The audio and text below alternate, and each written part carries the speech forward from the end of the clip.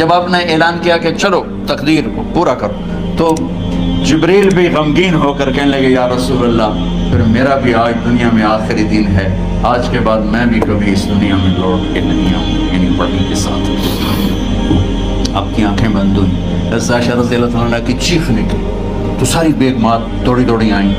तो आपकी मंजिल पूरी हो चुकी थी। तो आपको लिटाया गया। और चादर डाल दी गई। अबू बकर रज़ी अल्लाह अपनी दूसरी बेगम के पास गए थे अवाली तीन चार मील। पता चला तो वहाँ से घोड़े पर वो दौड़ते हुए आए और आकर आपके माथे से, चेहरे से कपड़ा हटाया और आपके माथे पर गुस्सा लिया तो आपके आँसू माथे पर गिरे। कवा नबी या वाह खलीला वाह सफिया। हाय मेरा नबी, हाय मेरा दोस्त, हाय मेरा खलील, हाय मेरा जिगर। गया रसूल अल्लाह आज के बाद आप कोई दुख नहीं देखी ग्यारह हिजरी में आप हज के लिए तशरीफ़ ले लेते और ये सूरत आई ग्यारह तारीख को ग्यारह ग्यारह हज की जुल हज इजाजा अनसरफ़त इसमें इशारा था कि मेरे नबी आपका मिशन मुकम्मल हो चुका है। अब आप हमारे पास आने की तैयारी फरमाएँ। तो ये जब, ये जवाल से पहले आप अपने खेमे में लेटे हुए थे, ये ये आखिरी सूरत है कुरान की जनाजिल। तो आप निकले जवाल के बाद आपने तीनों शैतानों को पत्थर मारे, फिर आप अपनी ऊँटनी असबा पे सवार हुए और आपने ये तारीखी जुमला बोला अयहन्नास आसा अल्लाह तलकौनी बाद हादा। ये मेरी तुम्हारी आखिरी मुलाकात। आज के बाद तुम मुझे नहीं देखोगे वापसी पर आपने माजिब ने जबल को मदीने से यमन रवाना फरमाया। तो माजिब ने जबल से ऐसी मोहब्बत थी कि उनको सी ऑफ़ करने के लिए सात मील पैदल चले साथ साथ अब किसी को रवाना करने के लिए साथ नहीं चलते थे, मस्जिद से रवाना कर देते माजिब ने जबल को सात मील साथ चले। तो जब आखिरी पॉइंट आया, सफ़र का तो कहने लगे माज आसा अल्लाह तलकानी पैदा माज फिर मेरी आखिरी मुलाकात। वाला अल्लाह का तमर कबरी व मस्जिद ही हादा। जब तू वापस आएगा तो तू मेरी कब्र देखेगा और मेरी मस्जिद मुझे नहीं देखेगा। तो बका माज जश्न फ़िराक रसूल तो माज इबन जबल फूट फूट के रोने लगे। आपकी जुदाई का तस्वुर कर। तो आपकी आँखों में भी आँसू आ गए तो आपने जल्दी से मुँह यूँ फेर लिया। माज पीछे हो गए और आप इधर हो गए। अपने आँसू छुपा लिए।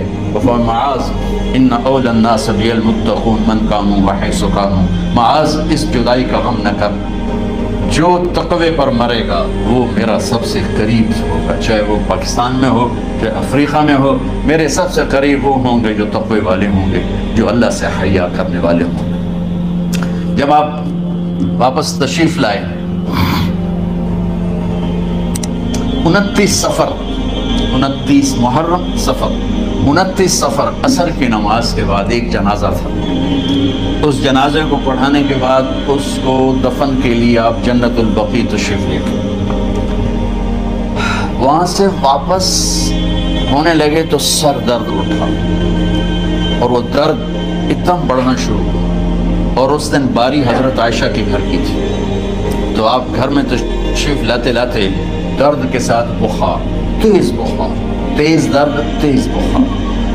और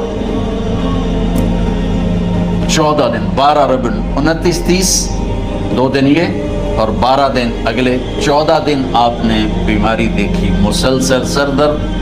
और मुसलसल बुखार। और रोज़ाना आप जब घर बदलते उस नौ बीवियाँ ज़िंदा थी तो आप पूछते, कल किसकी बारी है? कल किसकी बारी जी महमूना जी अगला दिन, कल किसकी बारी ये हफ्सा की कल किसकी बारी है? उम्म सलमा की है। तो बेगमात ने इससे समझा कि अल्लाह के नबी ये चाहते हैं कि मैं बीमारी के दिन आयशा के पास गुजार। वरना आपको तो खुद पता है कल किसकी बारी है, परसों किसकी बारी है तरसों किसकी बारी है। तो हज़रत मैमूना के घर में आप तशरीफ़ फरमा थे तो सारी बाकी आठ, सात बेगमात जमा हुई और उन्होंने आके अर्ज़ की या रसूल अल्लाह जब तक आप बीमार हैं, आप आयशा के पास आराम फरमाएँ। और जब अल्लाह आपको शिफा दे दे तो फिर हमारी तरतीब को आप दोबारा शुरू फरमा दें। तो आपने सबका शुक्रिया अदा किया। आदल की मिसाल का इस्लाम जब दूसरी शादी की इजाज़त देता है तो आदल की शर्त लगाता है इलम तदल अगर अदल नहीं कर सकते, फिर यही किया। अदल और आपने फरमाया, जिसने दूसरी शादी की और अदल ना किया, कितनी मर्ज़ी इबादत करके आया तो क्यामत के दिन आधा हिस्सा उसका फालिक ज़रदा होगा। एक साइड उसकी फालिक ज़दा होगी।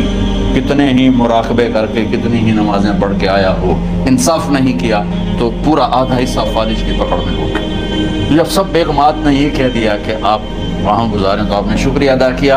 अली और अब्बास को बुलाया, उनके कंधों पे आपने यूँ हाथ रखे और आपके पाँव यूँ ज़मीन पे लग रहे। आप पूरा पाँव नहीं लगा पा रहे थे, कमज़ोरी से ये ये पोजीशन थी, इस तरह। और ये पीर का दिन था। आप हज़रत आयशा के घर में दाखिल हुए और अगले पीर को हज़रत आयशा के घर में आप अपने अल्लाह के पास चले गए। आखिरी हफ़्ता आपने हज़रत आयशा के घर में गुजारा। साहबा मुलाकात के लिए हाजिर हुए। तो आप उनको देख के रोने लगे और फरमाया कि मैं तुम्हें अल्लाह के सुपुर्द करता हूँ। अल्लाह तुम्हारी हिफाजत करे। अल्लाह तुम्हारा साथी हो। आवाकुमुल्ला हफदकुमुल्ला नसरकुमुल्ला बहुत दुआएँ अब्दुल्ला बिन मसूद रज़ी हो ने पूछा, या रसूल अल्लाह लगता है जैसे जाने का वक्त है तो आपको गसल कौन देगा? आपने फरमाया, मेरे अहल बैत।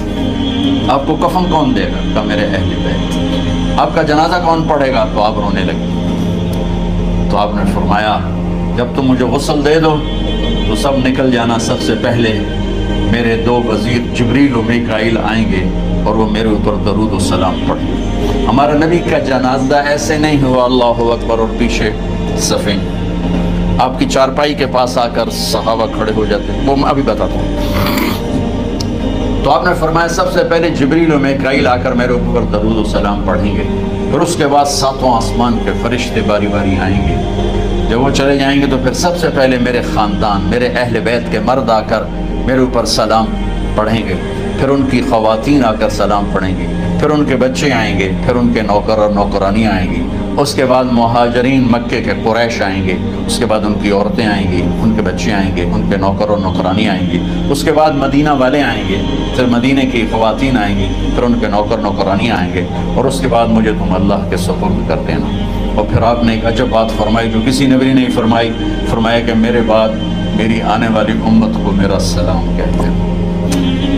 और उन्हें कहना कि उनके बाद जो आए, उनको भी मेरा सलाम कहते और इस तरह मेरे सलाम को क्या मत तक अल्लाह के नबी ने पहुँचाया कि हर आने वाली उम्मत, हर आने वाली नस्ल, अगली नस्ल को उस नबी का सलाम पहुँचा आपके जाने में पाँच दिन बाकी थे।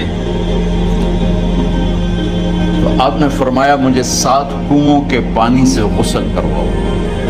तो सात कुओं से पानी लाया गया, मशकीज़ों में भर के तो हज़रत आयशा के घर में कोई ऐसा टब नहीं था जिसमें बैठ के वो आप नहा सकते।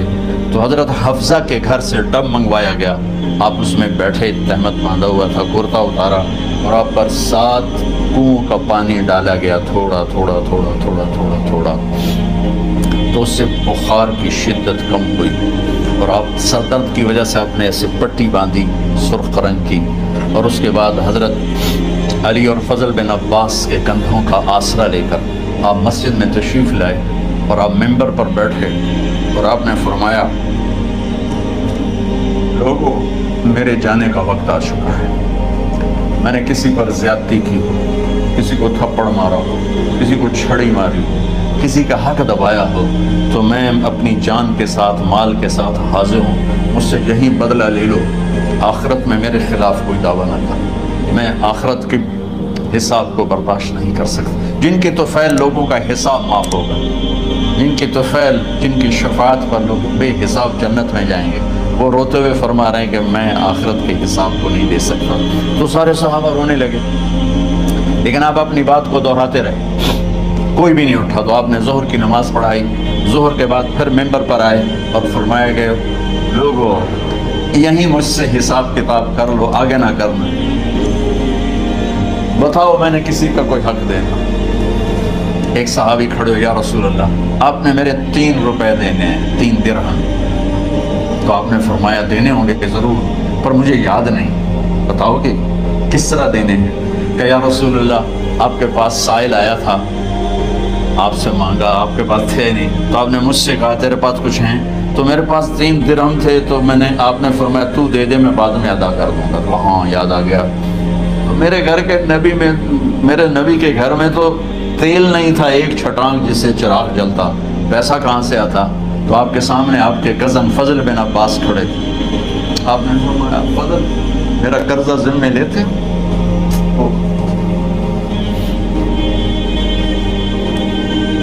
जिनके लिए कायनात सजाई गई। जन्नत की चाबियाँ जिनको पकड़ाई गई। जाते हुए तीन रुपए देने की हिम्मत नहीं थी। फजल मेरा कर्जा जिम्मे लेते जी यार मैं अपने जिम्मे लेता कैसे ले लेना आप घर तशरीफ़ ले गए नमाज़ के लिए आते थे पढ़ाते थे जुमेरात को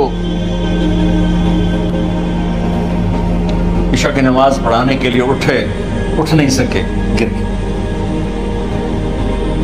फिर उठने लगे उठ नहीं सके गिर गए फिर उठने लगे, उठ नहीं सके तो आपने फरमाया, अबू बकर से कहो, नमाज़ पढ़ाए, ईशा की नमाज़। अबू बकर जरा पीछे खड़े थे, उमर आगे खड़े थे। तो लोगों ने कहा, नमाज़ ही पढ़ानी, कोई पढ़ा देवे। तो उन्हें हज़रत उमर को आगे किया। उन्हें कहा, अल्लाह अकबर। जब हज़रत उमर की तकबीर सुनी तो आपने अंदर से ज़ोर से फरमाया, उमर को पीछे करो, अबू बकर को आगे करो। मेरे रब का फरमान है मेरे मुसल्ले पर अबू बकर के सिवा और कोई खड़ा नहीं हो सकता। जुमरात की इशा जुमा हफ़्ता इतवार की पंद्रह नमाजें और पीर की फजर की सोलह और जुमरात वाली सत्रह। सत्रह नमाजें अबू बकर ने पढ़ाई मेरे नबी की मौजूदगी में। हफ़्ते के दिन जोहर या असर में आप अली और फजल बिन अब्बास के कंधों पर हाथ रख के मस्जिद में दाखिल हुए और अबू बकर नमाज़ पढ़ा रहे थे। इधर महसूस हुआ कि अल्लाह के नबी आ रहे हैं। तो अबू बकर ने यूँ पीछे हटना शुरू किया ताकि मुसल्ले से हट जाएँ। तो आपने ऐसे हाथ का इशारा फरमाया कि खड़े रहो, हटो नहीं, खड़े रहो। तो वो फिर आगे मुसल्ले पर आ गए। तो आप तशरीफ़ लाए। और उल्टे हाथ अबू बकर के साथ बैठकर आपने जोहर यासर की चार रकात नमाज़ अबू बकर की इमामत में अदा फरमाई। ये आपकी आखिरी नमाज़ थी मस्जिद के अंदर उम्मत के साथ और तशरीफ़ लेके। जुमे का दिन था। जबरील आए। या रसूल अल्लाह मुझे अल्लाह ने भेजा है कि जाओ मेरे महबूब का हाल पूछ के आओ। तो अब दर्द और बुखार दोनों चीज़ें सर का दर्द भी हैवी वेट था और बुखार भी तपिश। तो आपने कहा जबरील तकलीफ़ है तकलीफ़ है। हाँ हफ़्ते का दिन फिर जबरील आए या रसूल अल्लाह मुझे अल्लाह ने भेजा है कि जाओ मेरे महबूब का हाल पूछ आओ। फिर आपने फरमाया, तकलीफ़ इतवार को फिर जबरील आए या रसूल अल्लाह अल्लाह ने भेजा है कि जाओ मेरे महबूब का हाल पूछो बारह रबी अव्वल आ गई। छः सौ बत्तीस ईस्वी और ग्यारह हिजरी। आपकी तबीयत में बशाशत है। तो सहाबा नमाज़ पढ़ रहे थे, आपने दरवाज़ा खोल के सबको यूँ देखा। तो हज़रत अनस फरमाते, हम सब नमाज़ में थे, लेकिन जब दरवाज़ा खुलने की आवाज़ आई अल्लाह के नबी का चेहरा तो हम सब नमाज़ में यूँ हो गए। नमाज़ के अंदर ही सारे अल्लाह के नबी को देखना शुरू कर दिया भूल ही गए कि नमाज़ पढ़ रहे हैं। ऐसे गुम हो गया आपने। तो आपने जल्दी से दरवाज़ा बंद फरमा दिया। ये आपकी आखिरी ज़्यारत थी अपनी उम्मत के लिए। उसके बाद आप अपने अल्लाह की तरफ़ का सफ़र शुरू किया। तो इशराक के बाद आपने अपनी बेगमात को बुलाया। उनको बताया नहीं कि मैं आज जा रहा हूँ। सबसे मिले, सबको अलविदा किया और उन्हें भेजा। उसके बाद आपने हज़रत फातिमा को बुलाया। जन्नत की औरतों की सरदार, सबसे ज़्यादा महबूब बेटी, सबसे ज़्यादा जिगर का टुकड़ा दिल का टुकड़ा का जिसने फातिमा को दुख दिया मुझे दुख दिया। जिसने इसे सुख दिया मुझे सुख दिया। हाँ। उनको करीब का बेटे करीब हो। तो उनके कान में कहा मैं जा रहा हूँ। वो रोने लगी। तो रो नहीं। चंद दिनों के बाद तेरी मेरी मुलाकात हो जाएगी सबसे पहले। तो छः माह बाद हज़रत फ़ातिमा का भी चौबीस साल की उम्र में या पच्चीस साल की उम्र में इंतकाल हो गया उनको रुख्सत फरमाया फिर आपने दामाद मौला अली को बुलाया उनका सर अपनी गोद में रखा और उनके सर पे और कमर पे हाथ फेरते रहे और उनको दुआएँ देते रहे। आहिस्ता आहिस्ता, थी आवाज़ ऊँची नहीं थी, पस्त आवाज़ थी और यूँ सर पे कमर पे, सर पे कमर पे और दुआएँ दे रहे। उनको रुखसत फरमाया, आखिर में अपने जिगर के टुकड़े हसन और हुसैन को बुलाया एक आपको हदीस सुना मेरे नबी ने फरमाया अपने बच्चों को इज़्ज़त दिया करो, अक्रम ख़ास तौर पर माओ से कहता हूँ। जब हम बच्चों से इज़्ज़त छीन लेते हैं, उनसे हम सब कुछ छीन लेते हैं। पढ़े नहीं हो, स्कूल नहीं गए हो, ट्यूशन नहीं पढ़ी है, होमवर्क नहीं किया है, ये क्यों खाया, ये क्यों पहना? इस वक्त जब माँ और बाप बच्चे को जलील करते हैं तो आप याद रखें, आप उनके दिलों में अपने लिए नफरत भर रहे हैं। मेरे नबी ने फरमाया, बच्चों को इज़्ज़त दो, औलाद को इज़्ज़त दो। वो इज़्ज़त तुम्हें वापस करेंगे जब तुम्हें ज़रूरत होगी जब तुम उनके मोहताज बनोगे तो फिर वो इज़्ज़त तुम्हें वापस मिलेगी। अगर डांड डपट डांड डपट डांड डपट तरबियत के नाम पर कुछ नहीं मिलेगा तो आप हसन हुसैन को क्या इज़्ज़त देते थे? आप नमाज़ पढ़ा रहे हैं। नमाज़ है मस्जिद के अंदर, घर में नहीं है। और आप सजदे में गए। दोनों भाई कूद के कमर पे चढ़ गए। कोई हमारे आज का दीनदार होता उस उत्थे ही उन्होंने दो लितर मारने आ आपने सजदा लंबा कर दिया। साहबा को खौफ हुआ कि आप फौत हो गए। अब्दुल्ला बिन मसूद सर उठा के देखा तो दोनों भाई कमर पे चढ़े हुए थे। और आप सजदे में पड़े थे। उन्होंने हाथ आगे बढ़ाया उतारने के लिए। तो आपने बगलों से देखा कि कोई हाथ आ रहा है बच्चों को उतारने के लिए। तो सजदे में ऐसे हाथ होते हैं तो आपने यूँ करके उनको रोक दिया इशारे से। जब तक हसन हुसैन अलैहिस्सलाम कमर पे सवार रहे, मेरे नबी ने सजदे से सर नहीं उठाए। ये इज़्ज़त दी। और जब वो उतरे, फिर आप सजदे से उठे। सलाम फेरते ही अपने दोनों बच्चों को गोद में लेके फरमाया, मेरे माँ बाप इन पे कुर्बान, इन्हें तकलीफ़ न दिया करो। और आप उनके लिए घर आते, रोज़ाना टाइम निकालते। आज वालदेन के पास औलाद के लिए टाइम नहीं, कल औलाद के पास वालदेन के लिए टाइम नहीं होगा। अपने बच्चों को मैं ये नहीं कहता हूँ बैठ के नसीहतें करो, सिर्फ़ मोहब्बत ट्रांसफ़र करो। टाइम दो मोबाइल ऑफ़ करो टीवी ऑफ़ करो, और सिर्फ़ आप और बच्चों में एक ऐसा ताल्लुक हो कि उनका ब्लूटूथ भी ऑन हो जाए, आपका ब्लूटूथ भी ऑन हो जाए और सारा डाटा ट्रांसफ़र हो जाए। ब्लूटूथ को ऑन किए बगैर डाटा ट्रांसफ़र होगा? दसो भाई। तो हमारे बच्चों के ब्लूटूथ ऑफ़ है स्कूलिंग की वजह से, डांट टपट के। तीन साल का बच्चा वाला स्कूल जाने के काबिल होता है। तीन साल का बच्चा माँ की गोद के लिए होता है, बाप की छाँव के लिए होता है। वो रोता हुआ जाता है, रोता हुआ आता है। रोज़ाना माँ बाप से नफरत अपने अंदर वो पैदा करता है और उसको पालता है, पढ़ाता है, बढ़ाता है। आप घर में तशरीफ़ लाते और हसन हुसैन के लिए घुटने टेक देते, हाथ टेक देते, आओ बच्चों अपने ऊँट पे चढ़ जाओ। दोनों बच्चों को कमर पे चढ़ा के और पूरे कमरे में चक्कर लगाते थे।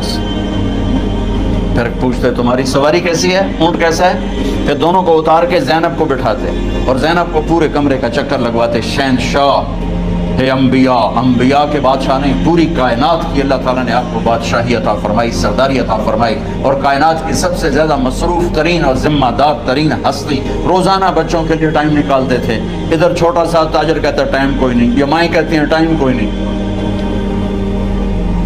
हाय हाय हाय। जिगर के टुकड़ों को बुलाया जो ही सीने से लगाया, आँसू शुरू हो। बीवियों को रुखसत किया, खामोश। बेटी को रुखसत किया, खामोश। दामाद को रुखसत किया, खामोश।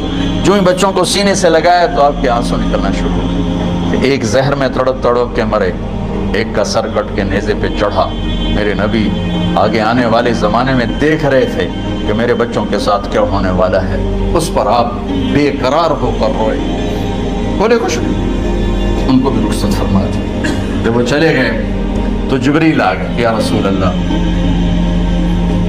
बाहर मलकुल मौत दरवाजे पर खड़ा है, अंदर आने की इजाज़त चाहता तो आपने फरमाया, आ जाए, मैंने कब रोका तो मलकुल मौत अंदर आया, एक फरिश्ता और भी था अस्सलाम या रसूल या रसूल अल्लाह मैं आपको सलाम पेश करता हूँ। मैंने कभी किसी को सलाम नहीं किया। आपके रब ने फरमाया, जब जाओ तो इजाज़त लेके जाना, बिन इजाज़त अंदर ना जाना। मैं कभी किसी से इजाज़त नहीं लेता।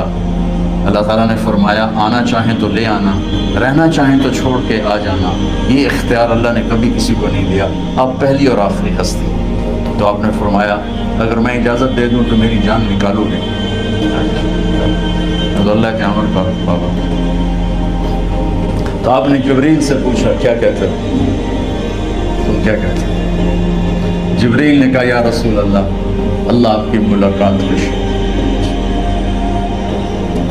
मेरे भाई बहनों, अल्लाह से ये दुआ किया करो अल्लाह ऐसी मौत दे, जब जाने का वक्त है तो तू हमारी मुलाकात के शौक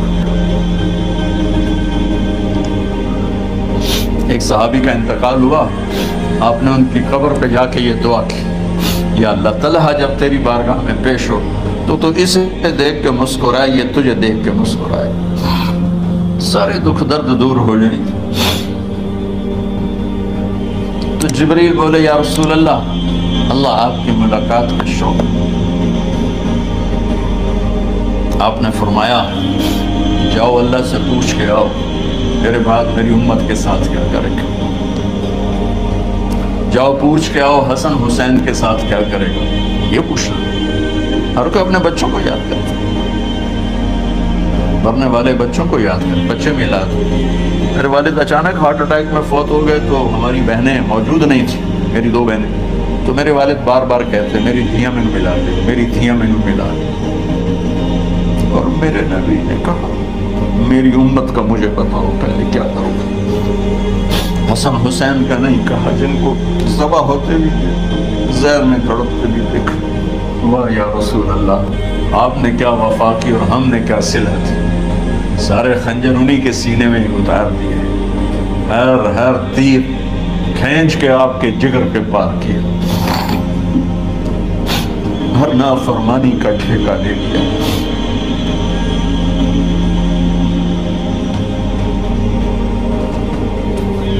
जाओ पूछ के आओ मेरे बाद, मेरी उम्मत का क्या करेगा तो जबरील जाकर पैगाम लाए कि अल्लाह ताला फरमा रहे हैं, हम आपकी उम्मत को तनहा नहीं छोड़ेंगे। मेरे रब की इज़्ज़त की कसम, खवातीन हजरात, मेरे रब की इज़्ज़त की कसम, मेरे नबी ये बात न उठाते। कोई हम में खनजीर बनता कोई बंदर हो जाता, कोई कुत्ता हो जाता, कोई सांप, बिच्छू बन जाता। अल्लाह की हमसे क्या रिश्तेदारी? उस कमली वाले पे दरूद सलाम पढ़ो, जिसने औलाद को पीछे करके तुम्हें अल्लाह से मांगा। और मैशर के मैदान में जब जहन्नुम आके एक चीख मारेगी और एक आदम से लेकर ईसा सलाम तक हर नबी कहेगा, नफसी नफसी। हर माँ बाप कहेगा, नफसी नफसी। हर बेटा बेटी कहेगा नफसी नफसी। हर खामिन बीवी कहेगा नफसी नफसी। हर भाई बहन कहेगा नफसी नफसी। हज़रत इब्राहिम कहेंगे, या अल्लाह, किसी का सवाल नहीं करता। मेरी जान बची। ईसा इस्लाम कहेंगे, या अल्लाह, मैं अपनी माँ मरियम का भी सवाल नहीं करता। मेरी जान ब नफसी नफसी। के हंगामे में एक आवाज़ आएगी, उम्मती उम्मती। कौन है ये? सारी दुनिया नफसी नफसी कह रही ये कौन है उम्मती उम्मती कहने वाला? आवाज़ के ताकुब में जब नज़रें जाएँगी तो अपने नबी को देख लेना। तड़पते हुए बदन के साथ, कांपते हुए हाथों के साथ, और फैली हुई झोली के साथ, और बहते हुए आंसुओं के साथ, सिर्फ़ एक हस्ती हो सिर्फ़ एक हस्ती होगी जो कहेंगे अल्लाह, मेरी उम्मत, या अल्लाह, मेरी उम्मत, या अल्लाह। कौन सी उम्मत जिसने हर बड़े से बड़े गुनाह के अड्डे खोल के ज़िंदगी गुजारी? मेरे नबी उन्हीं को याद कर रहे मेरी उम्मत मेरी उम्मत मेरी उम्मत। जब तक अल्लाह ने ये नहीं कहा कि आपकी उम्मत के बारे में राज़ी कर दूँगा, आपने फैसला नहीं किया।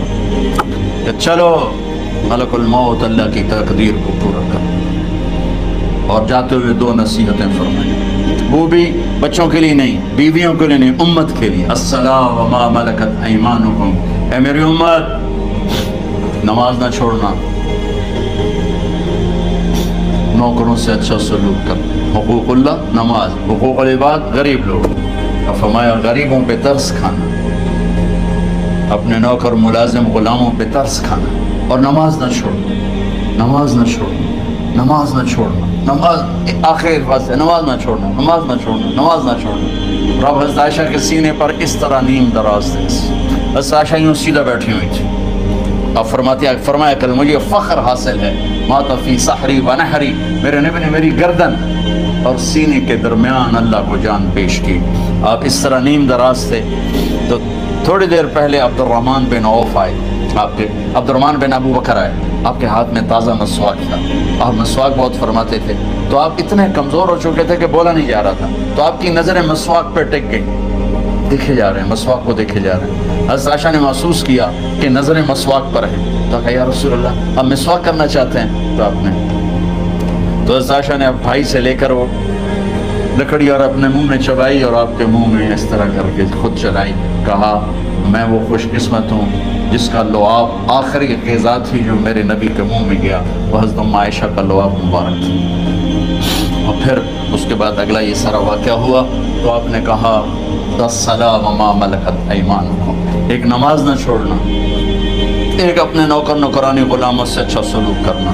और फिर अल्लाह रफ़ी कल या बुला जब आपने ऐलान किया कि चलो, तकदीर को पूरा करो तो जबरील भी गमगीन होकर कहने लगे, या रसूल अल्लाह फिर मेरा भी आज दुनिया में आखिरी दिन है।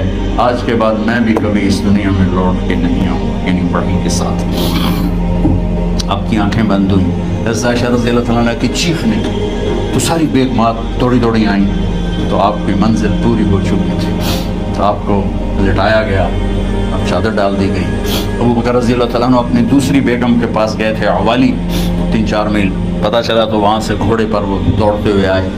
और आकर आपके माथे से, चेहरे से कपड़ा हटाया और आपके माथे पर गोसा लिया तो आपके आँसू माथे पर गिरे। कवा नबी या वाह खलीला कौन सफिया।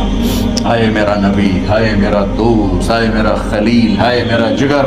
गया रसूल अल्लाह आज के बाद आप कोई दुख नहीं देखेंगे।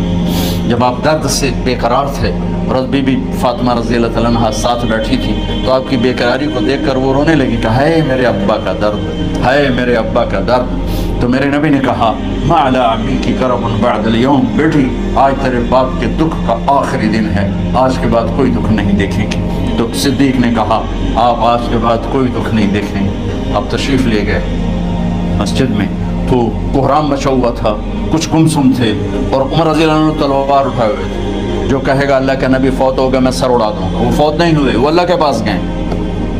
एक जुनूनी कैफियत पैदा होगी। वो वापस आएँगे, सारे कुफार से जिहाद करेंगे। तो अबू बकर मेंबर पर आए, कहा, उमर, बैठ जाओ उमर कहने के नहीं बैठता, इनका नहीं बैठता। और तलवार ऐसे सुबह वाह सिद्दीक हुआ। आपने मेंबर पर खड़े होकर, क्या सोने से भी लिखे जाए तो कम है, कीमत उससे ज़्यादा है। मेरे सिद्दीक ने कहा, लोगो, मन काना जो मोहम्मद की पूजा करते थे तो आज मोहम्मद को अल्लाह ने मौत दी थी वमन काना याबुदल्लाह और जो अल्लाह की पूजा करने वाले हैं, वो याद रखो, उनका अल्लाह ज़िंदा है, मौत से पाक। फिर आपने इन कमैतुन व इन मैतून मेरे महबूब, आपको भी मौत आएगी और इन सबको मौत आएगी।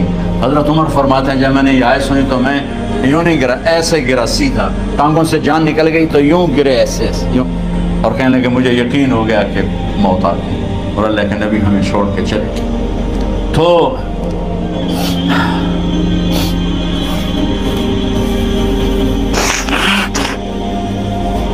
गसल कौन दे? कैसे दे? अहले बैत ने गसल देना था। आपके कपड़े उतार के गसल दिया जाए। या जो आपने कपड़े पहने हैं, उसी में गसल दिया जाए। तो परेशान है, क्या किया जाए? सब पे ऊँग तारी होगी। एकदम सबको नींद आई और गैब से आवाज़ आई कि हमारे नबी को कपड़ों समेत गसल दिया जाए। आपके बदन मुबारक से कपड़ा नहीं उतारे कोई उतारे नहीं। तो उस आवाज़ पर सारे बेदार हुए तो हज़रत अब्बास, फजल बिन अब्बास शकरान आपके ग़ुलाम और उसामा बिन जैद और अली बिन अबी तालिब आपको गसल देने वाले थे। हज़रत अली आप पर पानी डाल रहे थे और फजल बिन अब्बास जिसम को मल रहे थे और हज़रत अली साथ साथ रोते हुए या रसूल अल्लाह आपने ही हमें सब्र का हुक्म दिया। अगर आप अगर आप हमें सब्र का ना कहते तो आज हम दुनिया को रो के दिखाते। और आज हम दुनिया को अपना गम दिखाते कि किस तरह गम किया जाता है। और या रसूल अल्लाह आपके जाने पर वो नुकसान है जो क़्यामत तक न पहले हुआ, न बाद में होगा, कि आपके बाद नबूत का दरवाज़ा बंद हो गया। इस तरह पानी भी डाल रहे थे और रोते भी जा रहे थे। और फजल बिन अब्बास, वो आपके पहलू बदल कर हाथ मल रहे थे, हाथों से मल रहे थे। कब्र के खोदने का वक्त आया तो वो लहद होती है, खड्डा खोद के फिर साइड में खड्डा खोदा जाता है। और एक होता स्ट्रेट जैसे हमारे यहाँ डाल के ऊपर वो स्लेब डाल देते हैं। तो कैसे बनाई जाए? तो अबू तलहा रज़ी हो कब्र बनाते थे वो वाली, लहद वाली। तो फरमाया, जो पहले आ जाएगा ना, वही कब्र तैयार कर। तो अबू तलहा पहले आ गए। तो लहद वाली कब्र तैयार की गई। और आपके कफन देने के बाद वही सब चले गए। उसके बाद बारी बारी अहल बैत, उनकी ख़वातीन, उनके बच्चे, फिर महाजरीन, उनके ख़वातीन, उनके बच्चे, उनके नौकर, फिर अंसार, उनकी ख़वातीन, उनके बच्चे, उनके नौकर। तो पीर और मंगल, ये दो दिन सारे गुजर गए और मंगल को इशा के बाद जाकर, यानी बुध की रात, आपकी तदफीन का वक्त आया। तो जब आपको कब्र में उतार दिया गया तो मुगीरा बिन शोबा रज़ी खड़े थे। उन्होंने अपनी अंगूठी उतार के अंदर फेंक। तो फिर कहने लगे अली कि मेरी अंगूठी नीचे गिर गई है। उठा लो। एक बहाना किया नबी को गुस्सा लेने का। अंगूठी फेंक कर फरमाने लगे अली वो मेरी अंगूठी गिर गई है, उठा लो। सब देख रहे थे कि पड़ी हुई कहाँ उठा लो। तो अंगूठी क्या उठानी थी? नीचे जाकर अल्लाह के नबी को लिपट और दौड़ दौड़ रोना शुरू किया। सब सहाबा की चीखें निकाल दी। अंगूठी तो बहाना ही था, आखिरी शख्स जिसका जिसम, नबी के जिसम से टच हुआ, वो मुगीरा बिन शोबा तो फिर सबने शोर मचाया कि बाहर निकालो बाहर निकालो, बाहर निकलो, बाहर निकले। तो ईंटें लगाई गई, फिर मट्टी डाली गई। तो जब वापसी हुई तो हज़रत अनस, गुजरे तो हज़रत फातिमा खड़ी थी। ताबत नफूसकुम अनस, किस जिगर के साथ तुमने नबी को मट्टी में छुपा दिया? किस जिगर के साथ तुमने नबी को में छुपा दिया? अल्लाह से मिला दी। कब्र देखने को खौफनाक है। अगर अल्लाह राज़ी है, जब कभी कबर से डर लगता है, बहुत ही लगता है तो ख्याल आता है, अगर अल्लाह राज़ी है, फिर तो मसला ही कोई नहीं है। क्योंकि अल्लाह ने अपने महबूब को भी कब्र में उतारा। यही नहीं कहा कि एक खूबसूरत बेडरूम बना के उसमें लिटा दो, कहा, कब्र में उतारो। अगर अल्लाह राज़ी है तो मरने वाली हो या मरने वाला हो तो मज़े ही मज़े। ये सारे दुआ करो कि जब हम दुनिया से जा रहे हों, अल्लाह हम पे खुश, अल्लाह हमसे राज़ी। तो कोई बड़ा मसला नहीं है। फ़राइज़ के साथ अल्लाह को राज़ी करो और अच्छे सलूक के साथ अल्लाह के बंदों को राज़ी करो। अपनी ज़बान को खूबसूरत बोल का आदि बना इससे गाली, इससे गीबत इससे चुगली, इससे शिकायत, इससे ताने, इससे तंज अल्लाह के वास्ते निकाल दो। और इस ज़बान को मीठे बोल का आदि बना लो। कड़वे से कड़वे जहरीले बोलों को पी जाओ। पी जा अयाम की तलखी को भी हंस के नासर। गम को गम के सहने में भी कुदरत ने मज़ा रखा। तो दास्तान गम है, बड़ी तवील है। आज बड़े अरसे के बाद मैंने आपको सुनाया है। तो कोई पहले कोई ऐसा मुझे मौका नहीं मिला कि मैं कुछ तफसील पढ़ के आता तो जितना मेरी याददाश्त में था, वो मैंने आपसे शेयर किया। हर एक ने जाना है, और हम चाहते हैं जब हम जाएँ तो ये हमारे ऐसे जानशीन हों कि अल्लाह पाक इन्हें हमारी कब्रों के ठंडा होने का ज़रिया बनाए। मीम अकेडमी कोई कारोबारी इदारा नहीं, कोई इससे हम पैसे नहीं बना रहे, बल्कि अपनी खबर बनाने की फ़िक्र कर रहे हैं, और इस आने वाले सैलाबी रेले को जो फहाशी और यानी बद किरदारी का एक इफरीत आ रहा है, इससे ये हमारे बच्चे सीसा पिलाई दीवार बने। इस चीज़ को इस तरह नहीं रोका जाएगा जैसे जहाँ जेब ने कहा कि कमरों में बंद कर दो। इसको रोका जाएगा कि इनको अपने महबूब का शदाई बना। दो अपने महबूब की मोहब्बत दे दो। और फिर कि मोहम्मद से वफातों ने तो हम तेरे हैं। ये जहाँ चीज़ है, क्या लोग कलम तेरे अगर आपने अभी तक हमारा चैनल सब्सक्राइब नहीं किया तो फ़ौर सब्सक्राइब कीजिए। साथ ही बेल आइकॉन पर क्लिक करें ताकि मज़ीद वीडियो आने वाली वक्त पर मिलती रहे। अल्लाह हाफिज़।